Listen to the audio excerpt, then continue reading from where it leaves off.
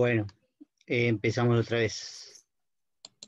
Esta vez sí se cerró por el Profe. ¿le puedo hacer una pregunta? ¿Cómo no? Eh, en el caso que nos den en el parcial, por ejemplo, un texto como un artículo periodístico, en general el, el enunciador, digamos, em, trata de borrar, digamos, la actividad en el texto. Eh, no habría en, ¿Borrar en ese caso subjetivemas, qué? ¿no? Las huellas de subjetividad. O sea, Bueno, eso es difícil que ocurra. En principio, es difícil que ocurra en la realidad. Es difícil borrar las huellas de subjetividad, eh, menos en un texto periodístico, eh, por un lado. Y por el otro lado, si eso ocurriera, no les daría ese texto. O sea, no les preguntaría subjetivemas. Porque no, sería una trampa absurda. Eh, me pondrían la respuesta en blanco y estaría bien. Pero no funcionan las cosas así. Digamos, si yo les pregunto subjetivemas es porque hay muchos. Si les pregunto de crisis temporal es porque hay muchas. Y así con todo. Digamos, pero puede haber, puede haber algunos textos donde se trate de disimular, pero justamente aquello que nosotros estamos tratando de analizar y que hemos venido analizando desde Benvenís, recuerden que Benvenís va para el parcial también, porque no fue para el primero. Eso, el repaso lo hicimos, así que pueden ir a la clase correspondiente. Desde Benvenís estamos viendo justamente que la subjetividad está siempre presente, ¿sí? Siempre presente. Y que es muy difícil eludir las marcas de esa subjetividad, sean los pronombres personales, sean los verbos y sean los subjetivemas. Lo que pasa es que hay que reconocerlos. Tampoco es cuestión de poner que cualquier cosa es subjetivema, pero es muy difícil borrar las marcas de subjetividad, y mucho menos en un texto periodístico. Repito, lo más interesante de todo es tratar de encontrar las marcas de subjetividad en un texto que trata de borrarlas. ¿Sí? Eso es lo que uno quisiera aprender, digamos, y lograr ¿no? a futuro, por decir así. ¿no? Poder analizar aquello que el enunciador trata de esconder. ¿no? Se muestra como objetivo, pero no es objetivo. ¿sí? Y se le escapa algo que es subjetivo y nosotros estamos entrenados para captarlo. Esa es la idea. La objetividad absoluta solo puede ser, que tampoco es absoluta, pero nos lleva a otro tipo de subjetividad, como ya les dije, es la de la ciencia. ¿Sí? Si uno ve el teorema de Pitágoras, ¿no? el enunciado completo, si quieren verlo con la demostración, con, el, con los corolarios, etc., el teorema de Pitágoras, ahí no van a encontrar ningún subjetivema, efectivamente, ¿sí? ninguna marca de subjetividad, porque en la ciencia, sobre todo en las ciencias exactas, no hay subjetividad. Se puede expresar en palabras o se puede expresar solamente con símbolos matemáticos, con números y, bueno, y otros símbolos que demuestran el teorema de Pitágoras. ¿sí? No, no, no, eh, la clase de repaso es hoy, justamente, por eso estamos repasando. Sí, pero no, no vamos a dar otra clase el, viernes, no. Por eso quería terminar modalidades, solamente las dos que nos faltan, pero bueno, ya, ya tuvimos 40 minutos de repaso. Eh, eh, repito, en el caso de la ciencia es absolutamente objetiva, sobre todo las ciencias exactas, pero responde a otro tipo de subjetividad en la cual no nos metemos. Eh, cualquier otro tipo de discurso, de las ciencias sociales, incluso a veces de las ciencias experimentales o biológicas, es, existe la subjetividad. ¿sí? Y eso es lo que aprendemos en este tipo de cursos a tratar de develar. Lo vimos también con el discurso directo, ¿no? que pese a que tiene las comillas, que se supone que es textual, todo eso, aún así hay formas en que el enunciador puede manipular las palabras de los otros. Eso es lo que hay que aprender. ¿sí? Ojalá se pueda aprender. Les cuesta, pero bueno, algún día lo van a tener que aprender. Porque justamente es la forma de analizar con estas herramientas. Hay otras, por supuesto, hay muchas otras herramientas que en el futuro a las, aprend las aprenderán según la carrera a la que vaya cada uno, por supuesto, pero eh, estas cosas las van a ver muchas veces desde distintos puntos de vista y seguramente se las encontrarán muchas veces en, en la carrera. pero para a la pregunta vuelvo y redondeo. Eh, es muy difícil que no haya subjetivemas, es muy difícil que no haya marcas de primera persona, es muy difícil que no haya marcas temporales. Y por supuesto, en el texto que yo les voy a tomar, va a haber marcas, porque si no, de lo contrario, no tendría sentido que se los tomara. Si me van a decir no hay subjetivemas, bueno, obviamente es incorrecta la pregunta, no entendieron cuáles son los subjetivemas. Y así con cualquier otra cosa que les pregunta, que les pregunte, no hay trampa en este sentido, porque preguntarle apelativo si que no haya ninguno, y por ahí alguno lo considera válido, pero no es, no es el estilo nuestro, digamos, de, tomar parciales. Sí, por ahí alguien, alguien, con maldad lo podría hacer. Mm, que no haya ningún apelativo para que eh, pisen el palito o para que digan, este, no hay ningún apelativo, que siempre van a dudar y lo ponen y está bien, pero no, no es la idea. La idea es analizar, analizar de verdad lo que hay. Y si les pregunto apelativos es porque va a haber apelativos, no porque no va a haber.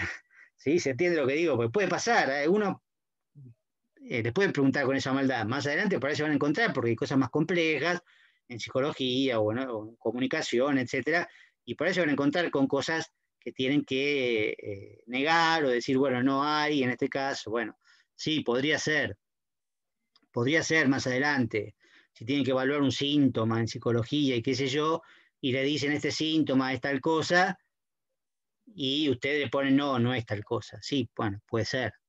¿sí? Mientras lo fundamenten, puede ser que sí, no es una trampa, es que es algo mucho más complejo. ¿sí? Pero acá no estamos para eso. No estamos para darles una, analizar algo que no tenga subjetivemas. Fíjense en los textos que hay, en, para las actividades que tienen la consigna. Eh, la consigna eh, es la que se puede aplicar a los textos. Ninguna de esas consignas no se puede aplicar. Están variadas, digamos, ¿no? Varían las consignas. Por ahí en algunas preguntan unas cosas, en otras preguntan otras. ¿Sí? A eso quería ir también porque hay algunos ejemplos buenos en el texto nuestro y también algunos de los textos que me dieron para, para analizar. Por eso vuelvo a compartir pantalla, ahora sí.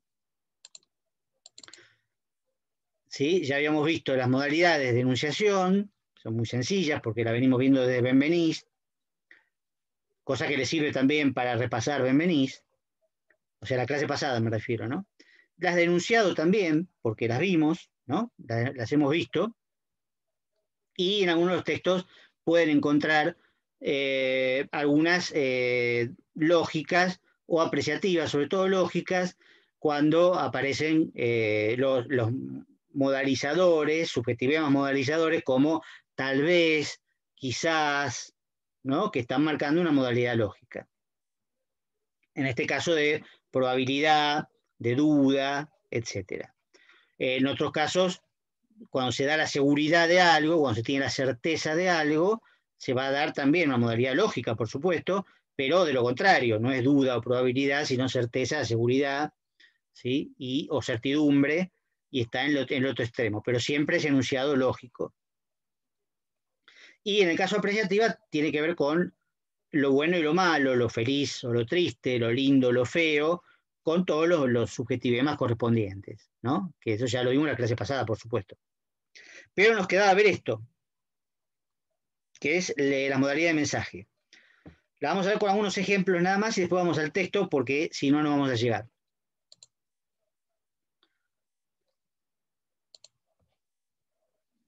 Hice un pequeño resumen acá, que después le, puedo pasar, pero de todas maneras le va a quedar acá. Le va a quedar en la, en la clase grabado, ¿no? Por supuesto, para eso sirve. Tematización. La tematización es cuando se altera el orden habitual de un enunciado y se pone adelante algo que quiero destacar. Si el enunciador quiere destacar algo y lo pone adelante de todo, que es una parte privilegiada siempre de un enunciado. Piensen en cualquier enunciado largo, el principio, es decir, cómo se empieza, siempre es importante. También el, final es importante, no se puede negar, pero en el caso de la tematización implica el principio. ¿no? Acá le doy eh, un, par de, tres ejemplos. ¿no? Fíjense esta expresión que es muy usual, ¿no? Esa mía quien heriste. ¿Sí? Entonces, ¿qué se está, destacando ahí? ¿No? que yo fui herido, ¿no? Que vos me heriste a mí, lo puse adelante, es a mí. No es el orden normal, el orden normal es me heriste a mí. El orden normal quiere decir estadísticamente eh, habitual, ¿no? En castellano sujeto, predicado. Y dentro del predicado, verbo y complementos, ¿no? Primero complemento directo, complemento indirecto y después complementos circunstanciales, ¿no? Acá el, orden eh, que puse entre paréntesis sería lo más normal, lo que más aparecería, pero que eh, no destaca. En cambio, si yo digo esa mía, quien heriste, lo destaca. Acá lo mismo. El sábado sí puedo. El sábado, que es un complemento circunstancial, que además es un deíctico temporal, ¿no? El sábado sí puedo es para destacar el sábado. Quizás en la conversación se habló de varios días miércoles, viernes, domingo, y un enunciador dijo, el sábado sí puedo, cuando el orden sería puedo el sábado, o yo puedo el sábado. Fíjense que el énfasis, ¿sí? la acentuación está puesto en el sábado, ¿sí? que es lo, que primero aparece. Y acá otra, otra versión tipo este, eh, cuento infantil, ¿no? hace mucho, mucho tiempo existieron los dinosaurios. ¿No? Cuando podría ser los dinosaurios existieron hace mucho, mucho tiempo. La diferencia es obvia. Quiero acentuar, enfatizar, destacar que hace mucho, mucho tiempo. La primera parte. Contra este orden que sería el orden habitual, digamos, el orden habitual en que cualquiera escribiría o diría ese enunciado. ¿no? Sujeto, ¿sí? Eh, verbo, o sea, predicado verbal, ¿no? Verbo y el circunstancial al final. Circunstancial de tiempo al final. Pero acá yo puse circunstancial de tiempo al principio. ¿Sí? Que de paso lleva coma también, cuando se altera el orden, lleva, lleva, lleva una coma ahí, ¿no? Pero bueno, eso es un detalle nada más. Eso es la tematización, nada más, algo muy sencillo, puede aparecer de vez en cuando, no va a aparecer a cada rato, pero puede llegar a aparecer. Y después la pasivación. Esto les sugiero que los que no tengan muy claro el tema de la voz, la voz activa, la voz pasiva, vayan a algún texto. De todas maneras, por supuesto, tienen textos en el, campus, tienen textos para ver, ¿no? Eso desde ya. Pero bueno, si no, en todo caso pueden ir a un artículo de Wikilengua, eh, buscan voz pasiva y ahí van a tener un montón de, ejemplos, ¿no? Después vamos a ver uno del, texto de Tizón. La voz activa, obviamente, es la policía reprimió la manifestación, donde tenemos el sujeto, el verbo, en voz activa. ¿sí? Eh, la voz es una característica del verbo. Los verbos pueden estar en castellano, ¿no? En voz activa o en voz pasiva. Eh, en otros idiomas hay incluso voz media, pero en castellano es dudoso que exista la voz media. Hay una teoría que dice que sí, pero no. ¿Está en voz activa o voz pasiva? ¿Mm? Tenemos el sujeto que ejerce una acción sobre el objeto. En este caso, objeto directo, la manifestación. Esto es voz activa. ¿Pero por qué se llama pasivación esta modalidad de mensaje? Porque se puede transformar la voz activa, ¿no? Se puede transformar en voz pasiva, que es esta que está acá. La manifestación fue reprimida por la policía. Es decir, el sujeto de la voz activa se transforma en lo que se llama complemento agente, que se puede nombrar o no. ¿sí? Lo que antes era objeto directo o complemento directo se transforma en sujeto. Y el verbo, ¿sí? que antes estaba en voz activa, ahora se transforma a la voz pasiva. Es con el verbo ser más el participio eh, pasado, ¿no? De reprimir, que es reprimida, o reprimido, ¿no? Varía según este sujeto, ¿no? Tiene, tiene concordancia genérica. ¿Qué pasa acá? Bueno, hay un caso de tematización, que es lo que veíamos antes, donde se destaca la manifestación. Sí, efectivamente, se da vuelta y en lugar de ponerla atrás, se pone adelante, sí. Pero el efecto principal no es la tematización, sino la pasivación. Yo puedo decir la manifestación fue reprimida, y por la policía queda atrás, ¿no? Queda menos destacada. O directamente la saco, ¿no? Directamente la saco porque no es obligatorio decirlo. Por eso puse acá voz pasiva con o sin agente, ¿sí? Si yo le saco los paréntesis, por supuesto es con agente. Pero si yo la borro directamente, queda sin agente. ¿Sí? Lo dejo como estaba al principio. Pero hay algo mucho más interesante todavía, que es la pasiva con C, o pasiva impersonal, entre comillas, que es esta última. Fíjense que es esta forma. Se reprimió la manifestación. ¿No? Acá directamente no hay agente ni puede haberlo. ¿sí? Manifestación es sujeto. Es sujeto. No es una. no es impersonal. Como por eso se pone impersonal entre comillas. ¿sí? La manifestación es sujeto. ¿sí? Y se reprimió equivale a fue reprimida. Es una forma de voz pasiva obviamente no es eh, reflexiva, porque no es que la manifestación se reprimió a sí misma, ¿sí? lo cual sería absurdo, ¿no? que una manifestación se reprimiera a sí misma, o sea, se pegan palos, ¿sí? se pegan palos en la cabeza a sí mismo, no, no pasó eso. Pero, ¿sí? de alguna manera, al ponerla impersonal, no digo que se esté sugiriendo eso, pero sí, evidentemente, se está sacando ¿sí? de toda mm, consideración ¿quién reprimió la manifestación? ¿Sí? Que antes, bueno, acá la policía por supuesto era sujeto. Acá podía aparecer o no, pero aparecía como agente. Acá no puede aparecer directamente.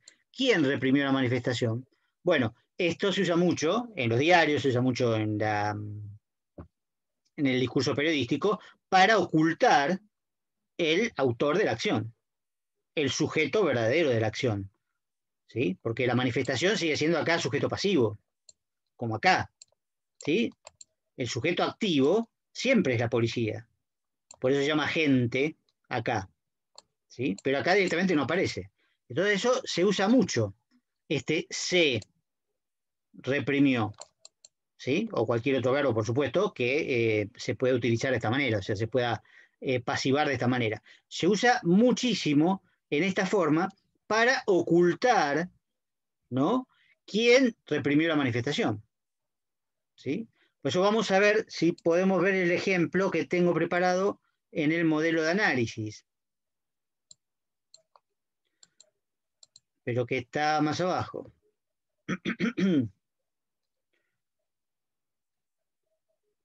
A ver. Lo había marcado y... Acá está. Fíjense los dos ejemplos. Había uno parecido antes que habíamos visto, ¿no? Por los medios se desliza la información, ¿no? Se desliza la información. Está bien, eso se puede, ah, se puede admitir. La información se desliza, ¿sí? Es, en el fondo es activa, ¿sí? No es pasiva. Pero fíjese. Perdón, profe, creo que sigue apareciendo pasivación, no, no cambia la pantalla. Sí, no se ve. Ah, lo, lo saco. A ver, esperemos a ver si aparece. Yo lo estoy viendo, pero podemos esperar que aparezca. O vuelvo a empezar. Bueno, dejo de compartir. Vuelvo a compartir.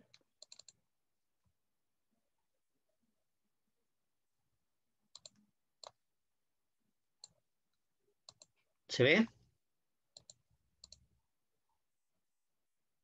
Sí, desde frontera, sí, ahora sí. Ahora sí. Fíjense, se cierra la frontera, se nos pone en cuarentena. ¿Sí? Esas son formas de pasivación, son formas pasivas con C. La frontera no se cierra a sí misma, alguien cierra la frontera. ¿Quién la cierra? Lo mismo acá, se nos pone en cuarentena. ¿sí? Se y pone constituyen una voz pasiva con C. ¿Quién nos pone en cuarentena. Lo mismo acá, ¿no? Se decreta la expulsión, etc. Y se no fumiga. ¿Sí? Es decir, se impersonaliza. Hay como una fuerza impersonal que hace todo eso. ¿Sí? ¿Quién está sugiriendo, digamos, que lo hace? El gobierno, por supuesto. Por supuesto. Pero lo hace de una manera impersonal. ¿No? Muy interesante, porque son cuatro, ¿no? Eh, una, dos, tres, cuatro. ¿Sí? Cuatro pasivas eh, impersonales o con C, seguidas, ¿no? Donde, bueno, todo, por supuesto, se podría pasar a voz activa y decir, el gobierno cierra la frontera, el gobierno nos pone en cuarentena, el gobierno decreta la expulsión, el gobierno nos fumiga. Pero no lo dice, lo deja implícito. En este caso no tanto para, probablemente digo yo, ¿no?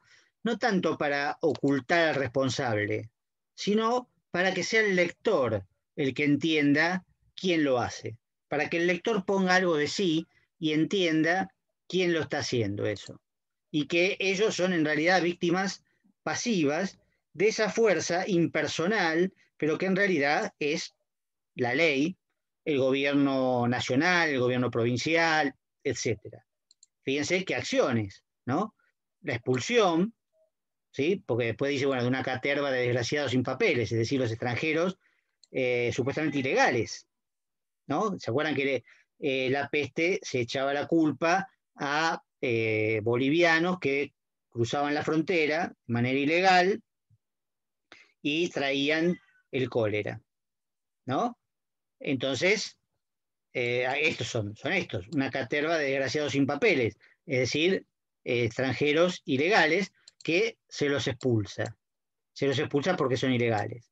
Venían a trabajar seguramente, a trabajar para alguien, pero como se les echa la culpa de que traen la peste, de que traen el cólera, bueno, entonces se los expulsa, ¿sí? Y se cierra la frontera para que no sigan pasando, ¿sí? Y entonces después dice, bueno, de pronto dejamos de ser los hermanos de tierra adentro y somos todos extranjeros, ¿no? ese dejamos y somos, ¿qué tipo de nosotros sería para seguir el repaso, ¿no? Ya abandonando la parte de modalidades, pero ya que lo tenemos ahí,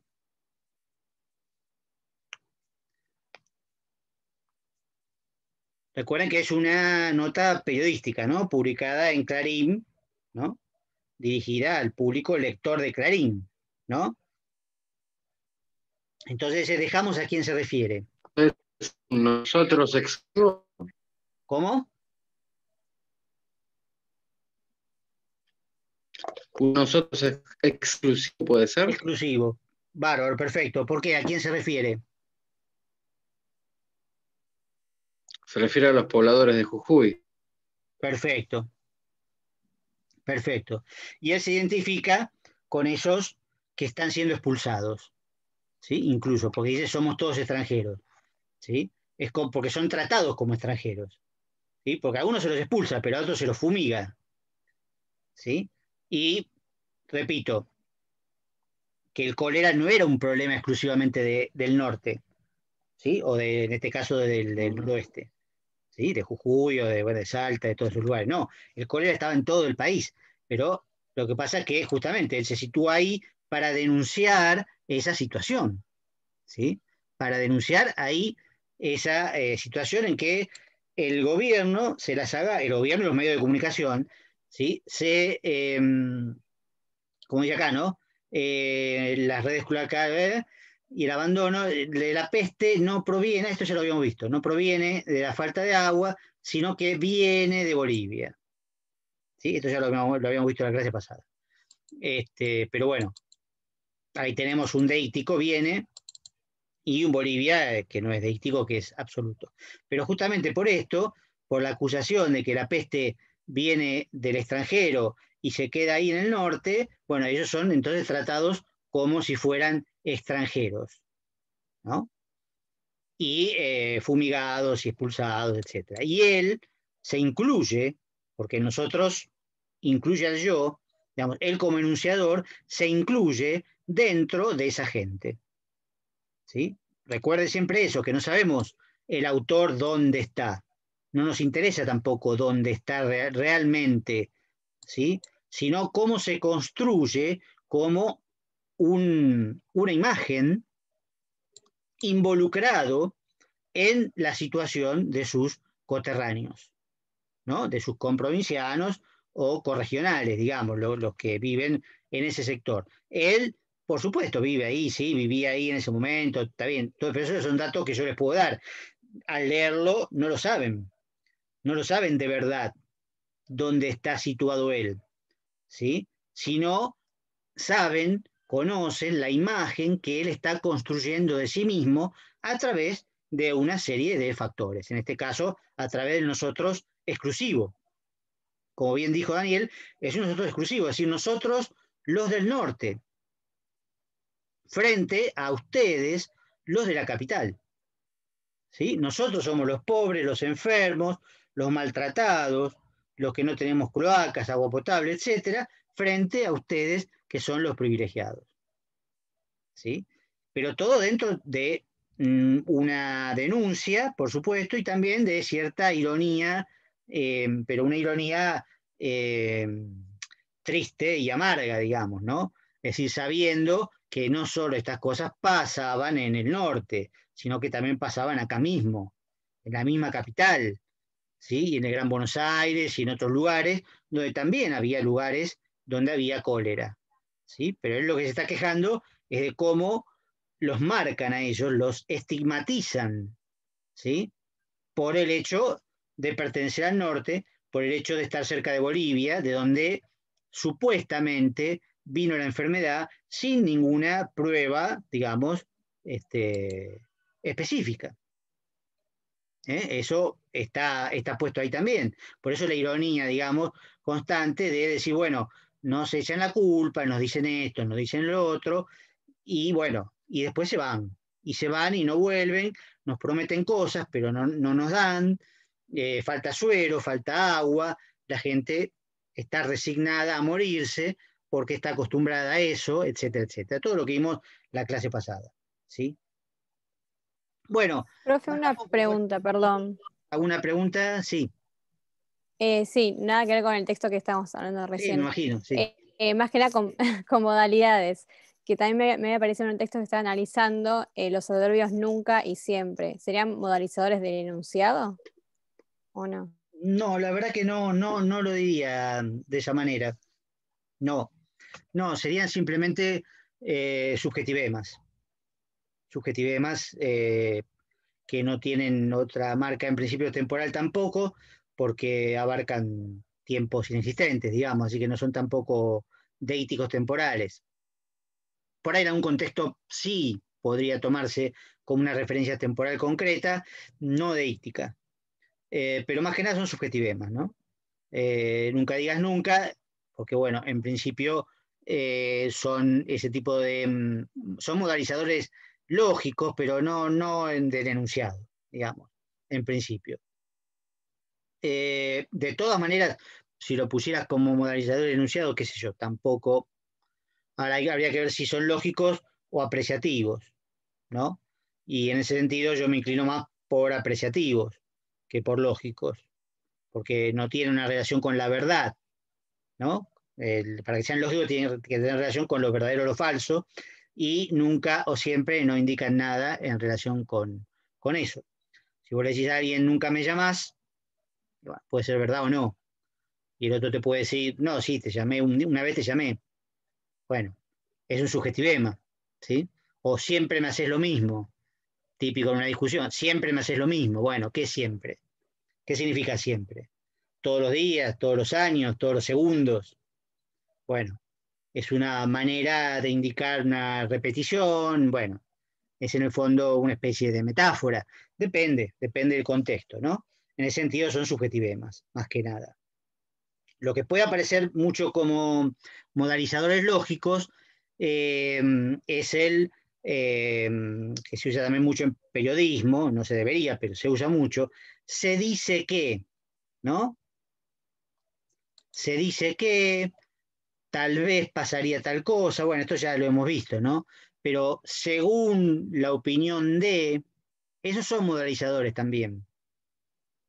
Y son modalizadores lógicos. ¿Por qué? Porque se relativiza la verdad en función de lo que dice alguien.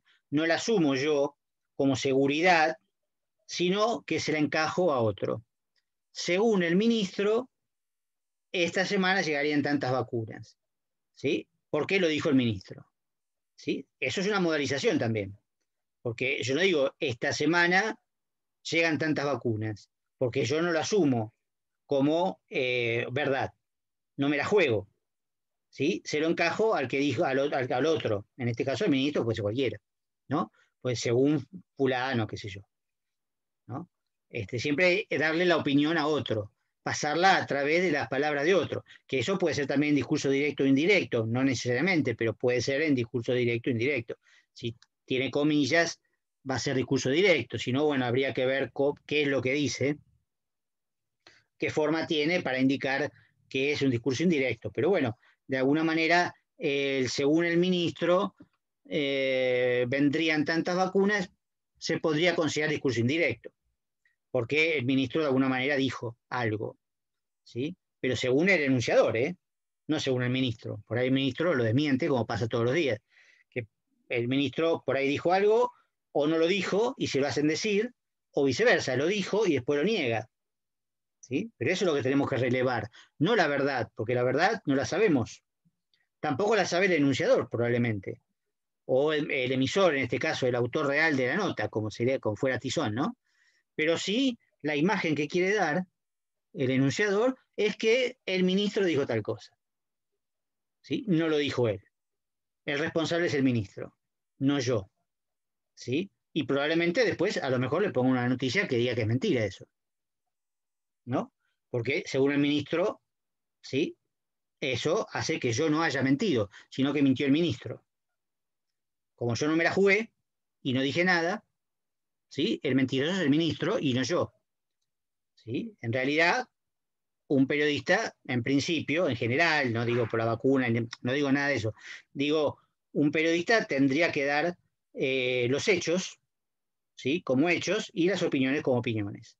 No estar siempre repartiendo las opiniones por todos lados y lavándose las manos, ¿sí? O usando el potencial, como decíamos la otra vez, el potencial indica también modalidad de duda, probabilidad, etcétera, ¿no? Llegarían tantas vacunas. Bueno, está bien, jugate, ¿llegan o no llegan? Y no lo sé. Bueno, está bien, pero decilo, ¿sí? Si no lo sabes. Esto vale para todo, ¿eh? Digo, el abuso del potencial o el del condicional eh, ahora se lo llama condicional, pero en realidad es modo potencial, ese abuso es típico del periodismo, ¿no? Con tal de no decir este, que, no lo sabe, lo dice, pero no lo dice. Es una mezcla, digamos, el espectador, el enunciatario, entiende la mitad, ¿no? No es lo mismo que decir quizás o tal vez, porque quizás o tal vez es, sí, marcar un poco más fuerte la duda, ¿sí? Si yo digo, el lunes no jugaría Messi. Bueno, ¿con qué se quedan? ¿Con qué ideas se quedan? ¿Sí? Con que yo tengo la posta. Yo sé que el lunes no va a jugar, porque el lunes va a descansar, digamos. Ya estamos clasificados, va a jugar, entonces le tiro, jugaría, no jugaría. Y entonces el, enunciatario probablemente se engancha de eso. Dice, ah, mira, no jugaría. Bueno, pero yo digo en cambio, quizás no juegue Messi. Bueno, también es la duda, por supuesto, es la misma modalidad, pero el subjetivema quizás está poniendo en, primer plano que yo dudo de eso. ¿sí? Pero también podría dar una fuente, podría dar una fuente. Fulano dijo, bueno, o mis fuentes dijeron, eso es típico también del periodismo. ¿sí? Ahora, lo correcto, lo más correcto sería el lunes no juega Messi. Pero ¿qué pasa? Eso no se puede saber en realidad, porque es algo del futuro. Bueno, no es un dato que se pueda tener efectivamente, ¿sí? Pero no se agarran del dato particular en, este caso, sea las vacunas, sea Messi, digamos, sino, sino cómo se, se, pueden construir los enunciados y cómo se deberían construir en algunos casos para eh, expresar la opinión de una forma más eh, tajante, más jugada y no eh, vacilante, dando ideas que de las cuales no me hago cargo, porque después juega Messi y lo que yo dije no tiene ningún valor, pero nadie me lo va a reprochar porque yo dije que, bueno, es una posibilidad que juegue o que no juegue. Y sí, por ahí se muere antes también, pobre, que no digamos, no digamos ya morir él, pero bueno, yo me puedo morir yo antes, qué sé yo. Entonces, este, nadie sabe el futuro, nadie conoce el futuro. Pero si uno es periodista, se supone que tiene que trabajar en la medida de lo posible con datos y no con verso, que es típico del periodista. Ya no solo del futuro, sino también del pasado, ¿no? Que es mucho peor todavía. Porque si es algo que ya pasó, tiene obligación de averiguarlo, de tener pruebas, ¿sí? Y no de dar opiniones sobre datos, sobre cosas que pasaron o no pasaron, ¿sí? Pero bueno, todo eso tiene que ver con la modelización. La modelización sobre todo del enunciado, ¿no? Bueno, falta poquito. ¿Alguna otra pregunta? Porque bueno, repasamos bastante, mucho más no se puede repasar. Vean las clases que donde hemos visto, donde hemos practicado, traten de si quieren hacer un, texto, yo todavía lo puedo seguir corrigiendo, y el martes seguramente, si no les aviso, ¿no? Pero el martes seguramente va a ser de 20 a 23 el parcial, igual que la primera vez. Eh, yo voy a estar pendiente por la duda que haya algún problema. Y después tenemos, el otro martes tenemos clase de repaso, ¿sí? Para los recuperatorios, si hay alguno que tenga que dar recuperatorio, eh, si me puedo avisar mejor, eh, y, eh, o si no, para el final, para el final también, ¿no? que es efectivamente el sábado 31 de agosto, no sé todavía la hora, pero generalmente es entre las 9 y las 12, o entre las 10 y las 13 más o menos. Este, eso va a ser el final también, este, así en esta modalidad virtual, salvo que haya algún cambio que hasta ahora no me dijeron, ¿no? El cuatrimestre pasado fue así. Se tomaron tres horas o tres horas y media, igual que un parcial, y, bueno, pero en este caso el final es obligatorio. ¿sí? Si aprobaron los dos parciales, pueden dar el final.